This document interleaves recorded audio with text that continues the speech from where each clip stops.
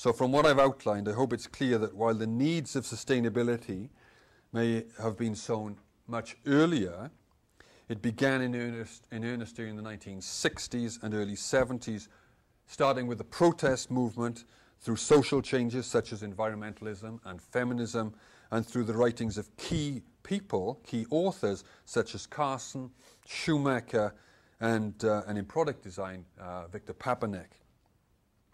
These ideas became cemented during the 1970s and 80s, and the term sustainable development was popularized by the Brundtland Report in 1987.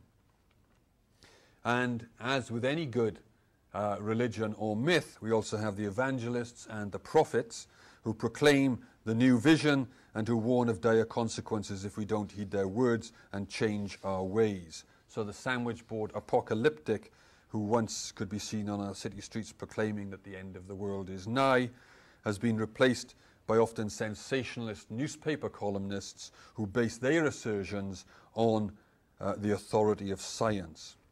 And there are a plethora of books now available that assert the dangers of continuing on our current course, that document environmental disasters, warn of the dangers of health, uh, to health of air, of, of air pollution, and speak out against the policies of major corporations. And some of these arguments are well founded, while others are more sensationalist, uh, but also more tenuous in their assertions. Nevertheless, there is a body of work that has arisen in recent years to address and begin, begin implementing the ideas contained under the Sustainable Development umbrella, and they constitute a rich and very diverse set of ideas. And there's also a language of sustainability uh, with terms such as the natural step, factor 10, product service systems, enabling solutions, uh, backcasting and scenario development. All these, these sort of jargony terms are familiar to those who are working in the field. And so sustainable development does offer an idea of completeness, a total vision. It has a recognizable beginning, identifiable founders, and is spawning a burgeoning collection of narratives, terminologies, and scenarios. And therefore, I think it can be fairly confidently viewed as a contemporary myth.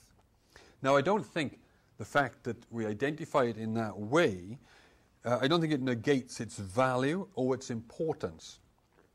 It simply allows us to see it from a different perspective and perhaps a more philosophical perspective.